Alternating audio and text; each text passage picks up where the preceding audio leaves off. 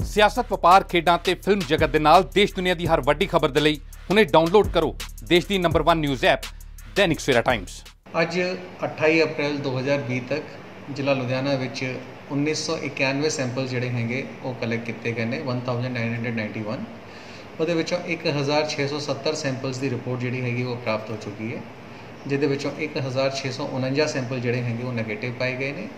21 sample ਜਿਹੜੇ ਹੈਗੇ, ਉਹ ਪੋਜ਼ਿਟਿਵ ਪਾਏ ਗਏ ਨੇ, ਜਿਹਦੇ ਵਿੱਚੋਂ 18 ਜ਼ਿਲ੍ਹਾ ਲੁਧਿਆਣਾ ਤੇ ਤਿੰਨ ਬਾਹਰਲੇ ਡਿਸਟ੍ਰਿਕਟਾਂ ਦੇ ਨਾਲ ਸੰਬੰਧਿਤ ਨੇ।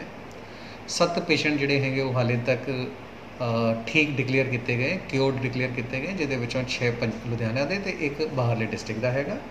ਪੰਜ ਕੇਸਸ ਜਿਹੜੇ ਹੈਗੇ ਉਹਨਾਂ ਦੇ ਵਿੱਚ ਡੈਥ ਰਿਪੋਰਟ ਹੋਈ ਸੀਗੀ, ਜਿਨ੍ਹਾਂ ਦੇ ਵਿੱਚੋਂ ਚਾਰ ਜ਼ਿਲ੍ਹਾ ਲੁਧਿਆਣਾ ਨਾਲ ਸੰਬੰਧਿਤ ਤੇ ਇੱਕ ਬਾਹਰਲੇ ਡਿਸਟ੍ਰਿਕਟ ਨਾਲ ਸੰਬੰਧਿਤ ਸੀਗੀ।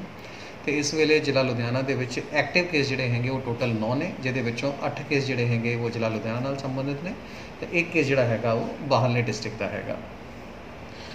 ਇਹ ਜਿਹੜੇ ਕੇਸਿਸ ਪੋਜ਼ਿਟਿਵ ਹੋ ਜਾਂਦੇ ਨੇ, ਉਹਦਾ ਅਸੀਂ ਦੂਜਾ ਸੈਂਪਲ ਜਿਹੜਾ ਹੈਗਾ ਉਹ 14 ਦਿਨ ਕੇ ਬਾਅਦ ਅਸੀਂ ਭੇਜਦੇ ਨੇ। 14 ਦਿਨ ਬਾਅਦ ਜਿਹੜੇ ਸੈਂਪਲਸ 네ਗੇਟਿਵ ਆ ਜਾਂਦੇ ਨੇ ਉਹ ਸੈਂਪਲਾਂ ਉਹਦੇ ਬਾਅਦ ਅਸੀਂ ਇੱਕ ਹੋਰ ਤੀਜਾ ਸੈਂਪਲ ਜਿਹੜਾ ਹੈਗਾ, ਉਹ ਲੋਕਾਂ ਦਾ ਕਲੈਕਟ ਕਰਦੇ ਹਾਂ 24 ਘੰਟੇ ਦੇ ਬਾਅਦ ਔਰ ਜੇ ਉਹ ਸੈਂਪਲ ਵੀ 네ਗੇਟਿਵ ਆ ਜਾਂਦਾ ਹੈ ਤਾਂ ਅਸੀਂ ਉਸ ਪੇਸ਼ੈਂਟ ਨੂੰ ਠੀਕ ਡਿਕਲੇਅਰ ਕਰਕੇ ਔਰ ਉਹਨੂੰ ਫਿਰ ਹੋਮ ਕੁਆਰੰਟਾਈਨ ਕਰਾ ਦਿੰਦੇ ਹਾਂ। ਤਾਂ ਇਹਦੇ ਵਿੱਚੋਂ ਅੱਜ ਵੀ ਅਸੀਂ ਤਿੰਨ ਪੇਸ਼ੈਂਟ ਇਹੋ ਜਿਹੇ ਹੈਗੇ ਜਿਨ੍ਹਾਂ ਦਾ ਅਸੀਂ ਦੂਜਾ ਸੈਂਪਲ ਜਿਹੜਾ ਹੈਗਾ, ਉਹ ਭੇਜਿਆ ਹੈਗਾ। ਪਹਿਲਾ ਸੈਂਪਲ ਜਿਹੜਾ ਉਹਨਾਂ ਦਾ ਪੋਜ਼ਿਟਿਵ ਆਇਆ ਸੀਗਾ, ਇਸ ਕਰਕੇ ਅੱਜ 14 ਦਿਨ ਬਾਅਦ ਅਸੀਂ ਉਹਨਾਂ ਦਾ ਦੂਜਾ ਸੈਂਪਲ ਜਿਹੜਾ ਹੈਗਾ ਉਹ ਸੈਂਪਲ ਲੈ ਕੇ ਲੈਬ ਦੇ ਵਿੱਚ ਭੇਜਿਆ ਹੋਇਆ। ਅਸੀਂ ਉਸ ਦਾ ਉਡੀਕ ਰਹੇ ਹਾਂ ਕਿ ਕੀ ਰਿਪੋਰਟ ਆਉਂਦੀ ਹੈ। ਇਸ ਤੋਂ ਇਲਾਵਾ ਅੱਜ ਜਿਵੇਂ ਅਸੀਂ ਕੱਲ ਦੱਸਿਆ ਸੀਗਾ ਕਿ ਕਾਫੀ ਸਾਰੇ ਬੱਚੇ ਜਿਹੜੇ ਹੈਗੇ ਉਹ ਕੋਟਾ ਤੋਂ ਤੇ ਕੁਝ ਪਿਲਗ੍ਰਿਮੇਜ ਜਿਹੜੇ ਹੈ ਪਿਲਗ੍ਰਿਮਸ ਜਿਹੜੇ ਹੈਗੇ ਉਹ ਅਸੀਂ ਨਾਂਦੇੜ ਤੋਂ ਇੱਥੇ ਲੁਧਿਆਣਾ ਤੇ ਬਾਕੀ ਡਿਸ- ਸਟੇਟਾਂ 'ਚ ਡਿਸਟ੍ਰਿਕਟਾਂ 'ਚ ਆਏ ਨੇ। ਅਸੀਂ ਉਹਨਾਂ ਦੀ ਵੀ ਹੁਣ ਲੇਟੈਸਟ ਪ੍ਰੋਟੋਕਾਲ ਦੇ ਮੁਤਾਬਕ ਟੈਸਟਿੰਗ ਕਰਵਾ ਰਹੇ ਹਾਂ।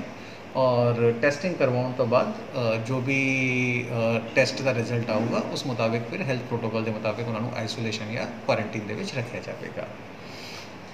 ਇਸ ਤੋਂ ਇਲਾਵਾ ਅੱਜ ਤੀਜੀ ਜਿਹੜੀ ਖਬਰ ਹੈਗੀ, ਉਹ ਹੈਗੀ ਕਿ ਜ- ਲੁਧਿਆਣਾ ਦੇ ਵਿੱਚ ਅਸੀਂ ਹੁਣ ਕੰਸਟਰਕਸ਼ਨ ਐਕਟੀਵਿਟੀਆਂ ਜਿਹੜੀਆਂ ਹੈਗੀਆਂ, ਉਹਨਾਂ ਨੂੰ ਅਸੀਂ ਚਾਲੂ ਕਰਨ ਜਾ ਰਹੇ ਹਾਂ। ਜਿਵੇਂ government of India government of Punjab ਨੇ ਅਲਾਉ ਕੀਤਾ ਹੈਗਾ, ਉਹ ਸਾਰੀ ਕੰਡੀਸ਼ਨਾਂ ਦੇ ਨਾਲ ਅਸੀਂ ਇਹ ਚੀਜ਼ਾਂ ਜਿਹੜੀਆਂ ਹੈਗੀਆਂ, ਉਹਨਾਂ ਨੂੰ ਅਲਾਉ ਕਰਾਂਗੇ। ਇਹਦੇ ਵਾਸਤੇ ਅਸੀਂ ਇੱਕ ਪਰਫਾਰਮਾ ਜਿਹੜਾ ਹੈਗਾ ਉਹ ਡਿਵਾਈਸ ਕੀਤਾ ਹੈਗਾ, ਜਿਹੜਾ ਕਿ ਸਾਡੀ ਡਿਸਟ੍ਰਿਕਟ ਦੀ ਵੈਬਸਾਈਟ ਜਿਹੜੀ ਹੈਗੀ ludhiana.nic.in ਉਸ ਦੇ ਉੱਤੇ ਵੀ ਤੇ ਇਹ ਪਰਫਾਰਮਾ ਜਿਹੜਾ ਹੈਗਾ DPRO ਦੇ ਆਫੀਸ਼ੀਅਲ ਟਵਿੱਟਰ ਹੈਂਡਲ ਜਿਹੜਾ ਹੈਗਾ ਤੇ ਫੇਸਬੁੱਕ ਜਿਹੜਾ ਹੈਗਾ ਉਸ ਦੇ ਉੱਤੇ ਅਪਲੋਡ ਕਰਤਾ ਜਾਵੇਗਾ।